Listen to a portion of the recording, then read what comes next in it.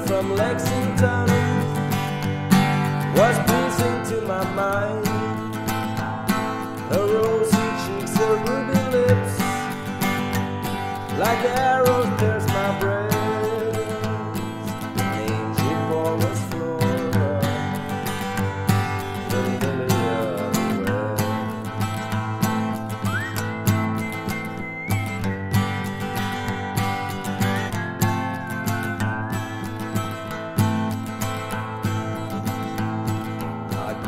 lovely Flora, some pleasure for to find.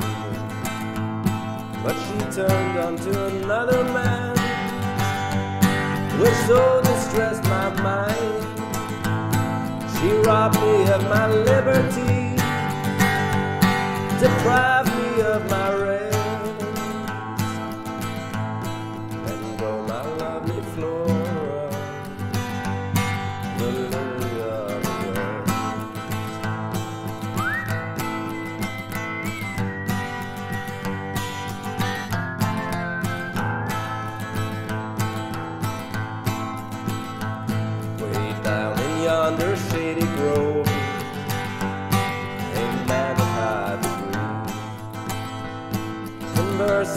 my Flora, which seemed so strange to me. And the answer that she gave to him, it so did me oppress. I was betrayed by Flora,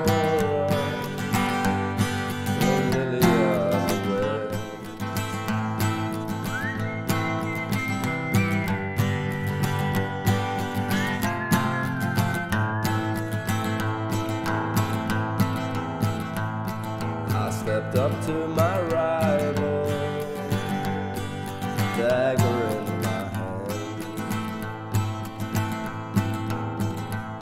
I seized him by the collar and boldly made him stand.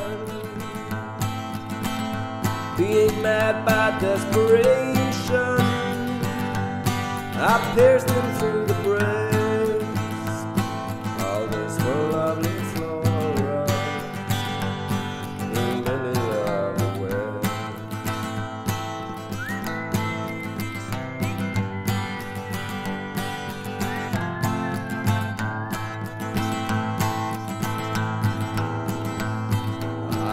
to stand my trial. I had to make my plea. They placed me in the witness box and then commenced on me. Although she swore my life away, deprived